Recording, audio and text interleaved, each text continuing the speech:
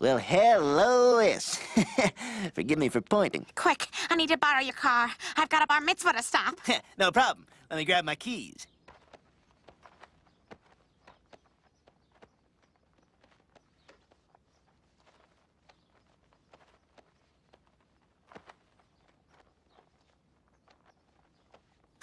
Here they are.